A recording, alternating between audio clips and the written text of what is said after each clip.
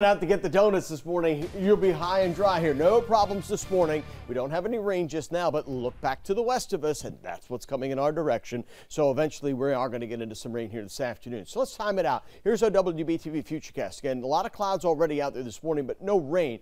Now, most of the model guidance suggests that by 12 noon, we're starting to see rain back across the upstate and the foothills, and then that just overtakes the area. Initially, it's very, very light, but as we get later into the afternoon, there may in fact be some heavier downpours. So again, if you're your kid's got a soccer practice or a baseball game scheduled for this afternoon, this evening, maybe just that commute home, yeah, I think you're just going to be impacted by rain. It's not looking all that great. Not going to be terribly heavy for most neighborhoods, but the rain is going to be with us right through the afternoon into the evening hours, only gradually uh, setting off as a little bit of drizzle during the overnight hours. We're mostly in the 40s, though. Charlotte's at 52, 49 Matthews, 44 in Ballantyne, 49 in Tega Cay, and 47 now around Weddington and Indian Trail. Now, as we look at some other numbers, we're mostly eh, in the upper 40s to low 50s right now. 50 Monroe, Lancaster, much cooler to the east of us where again the clouds have last come in. So those clouds sort of act as a blanket, so they've been a little bit clearer most of the night. Salisbury right now at 39. 70 is a normal high. We're going to wind up there, but again, the rain chances will be going up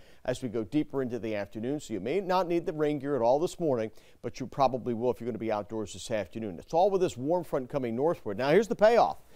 On the other side of this warm front, we'll get rid of the clouds tomorrow morning and then a decent day tomorrow, especially for the afternoon and Wednesday. Very warm here before we get this front to move in with showers and thunderstorms later on Thursday. And unfortunately, it looks like another severe weather outbreak for the same areas that were hit on Friday. Looks like that's going to be the case tomorrow, so we're going to be monitoring that situation for them. 80 for tomorrow here, 84 on Wednesday, then 82 Thursday. Oh, it'll last into the holiday weekend, right? Not so fast. Good Friday, 63. Saturday only in the 50s, and we do have elevated rain chances starting Thursday afternoon with that front, and then the potential for a wedge developing here on Friday and Saturday with on and off rain and drizzle. So we will keep you posted on that. But today's first alert weather day back end loaded. You're fine this morning, scattered showers this afternoon, this evening. Low clouds in the morning tomorrow give way to sunshine 80, then 84. Here comes the frontal system, and then this becomes a little bit problematic going into Friday, Saturday, Sunday, especially the outdoor plans. All right, let's check in with Becca right now, see how the roads are doing out there for slow traffic.